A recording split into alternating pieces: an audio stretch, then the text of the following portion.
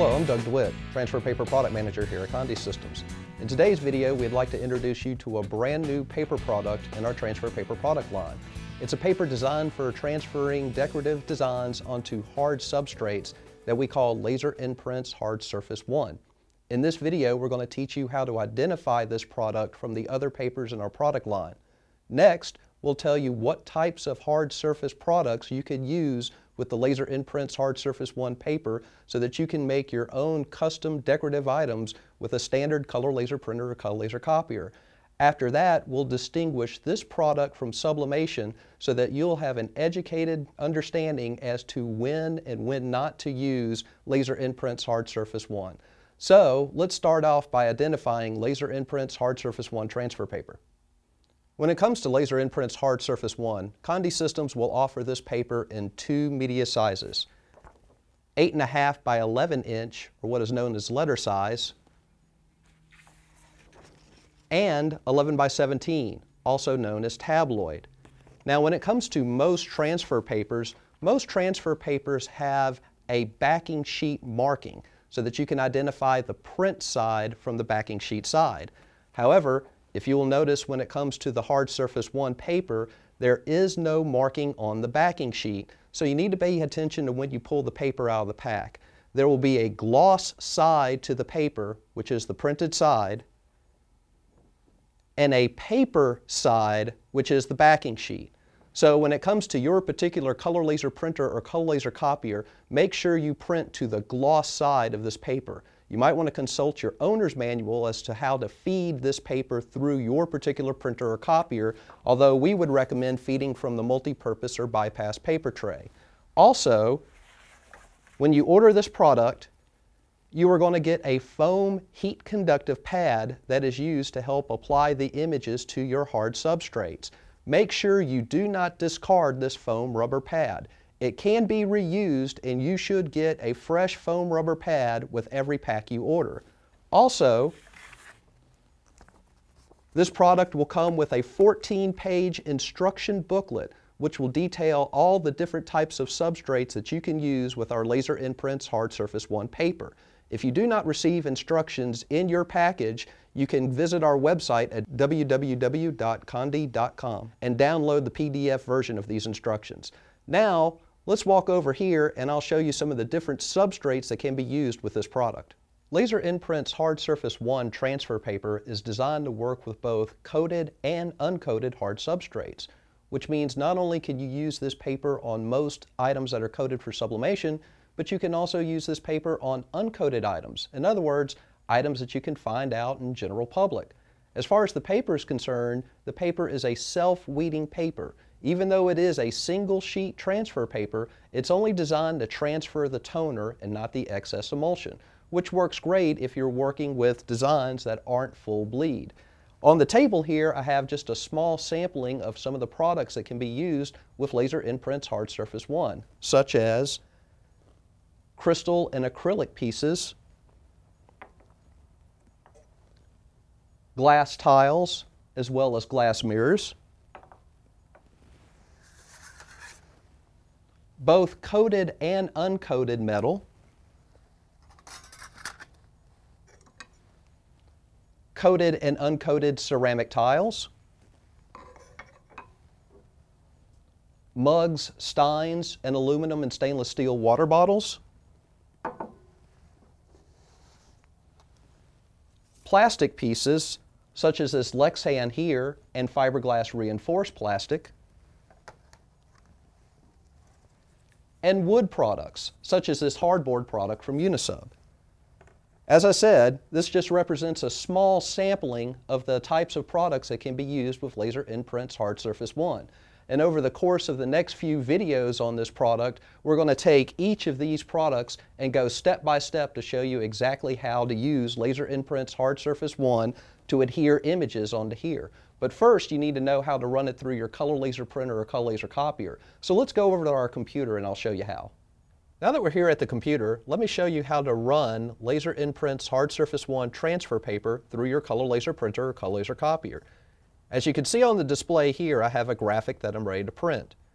Since I'm operating out of Corel Draw X5, what I like to do is go to File, and Print Preview to set up my preview screen. At this point, I can go ahead and access my print options to select my color laser printer. I will be operating with our LaserMPrints Go Uno. So here I'm going to go into Preferences. When it comes to running this paper, you want to make sure that you run this paper from what's called your multi-purpose or bypass paper tray. It will give you the best result. Next thing I want to do is I want to go into the options of the driver by clicking the Advanced button here. When it comes to setting your paper size, since we're running a letter size sheet, the LaserMPrints Go Uno is designed to run long edge first. But what I like to do with this paper is go to my PostScript custom page size and set it up for an 8.5 by 11 page, but to run short edge. And I'll go ahead and save that setting. Next, what I'll do is the LaserMPrints Go Uno has a built-in media check. I'll disable that for training purposes. Now, when it comes to the media type, this is the, the important setting to remember when running LaserMPrints hard surface paper. On most color laser printers or color laser copiers, you're going to want to run this paper in your labels mode. As far as the LaserMPrints Go Uno, this has a Labels 1 and Labels 2 mode. So if you use an Okidata based engine, you might want to experiment to find out which one is the best for your printer. But when I found from my testing on the LaserMPrints Go Uno, I found that this image clip setting gives me the best result. The next thing I want to do is go into my job options and increase my resolution. On this particular printer, the LaserMPrints Go Uno defaults at 600 by 600 dots per inch. I want to increase that resolution to 600 by 1200 just so I have a little bit more toner laydown so I make sure I get a good image on my hard substrates. But once I've made my changes, I'll apply them and the other important thing to remember is when you're using LaserMPrints Hard Surface 1, for most items you want to mirror or reverse your print. The only time you do not want to mirror or reverse is if you're going onto a piece such as a crystal, a pane of glass, or an acrylic where you're putting the design on the back but it's meant to be seen from the front. When it comes to those types of substrates, you want to print right side up. But for all other substrates, you want to mirror or reverse your print. Once you're ready, go ahead and send the print to your printer. Here's our printed sheet of LaserMPrints Hard Surface 1 that came out of our LaserMPrints Go Uno printer. To make sure I have a proper print, I want to perform my tissue test, which is taking a tissue sheet, gently tracing it over the print to make sure that no toner comes off on the tissue. This means we have proper toner bonding to the page. If you have proper toner bonding to your page, then you have successfully run LaserMPrints Hard Surface 1 paper through your color laser printer or color laser copier. Now let me take a moment to explain LaserMPrints Hard Surface 1 paper and how it relates to production.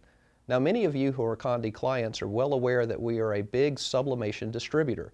Sublimation will create a durable item.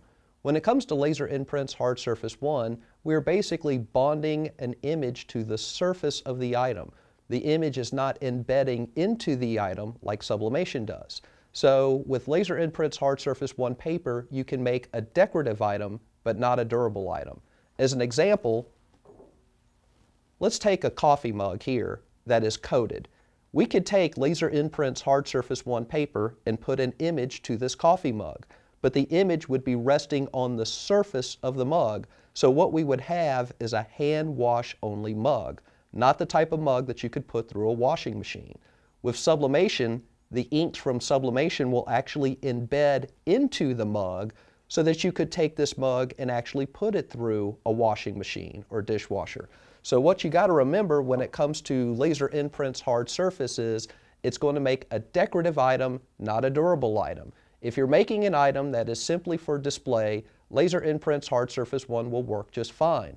But if it's an item that is going to be handled and it needs to be durable, you might want to look into sublimation printing process for those hard substrates. So let's take a moment to quickly review the points of LaserMPrints Hard Surface One transfer paper. This transfer paper is designed to run through oil-based and non-oil color laser printers and color laser copiers. Although it is a single sheet transfer paper, it is in fact self-weeding, which means it only transfers the image and not the excess emulsion. As far as the substrates that can be used with LaserMPrints Hard Surface One, it can be applied to both coated and uncoated hard substrates, as long as it will survive in the heat press. But remember, LaserMPrints Hard Surface One is going to make a decorative item, not a durable item. So bear that in mind whenever you're considering this for your production demands. If you have any questions regarding LaserMPrints Hard Surface One, don't hesitate to contact one of our sales managers here at Conde. You can reach them at 1-800-826-6332 or you can visit our website at www.conde.com for more information. And be sure to tune in to the second part of our Hard Surface One transfer paper video series where we'll show you how to apply this paper to acrylic, crystal, and glass. Until then, my name's Doug DeWitt, Transfer Paper Product Manager at Conde Systems. My time is up, and I thank you for yours.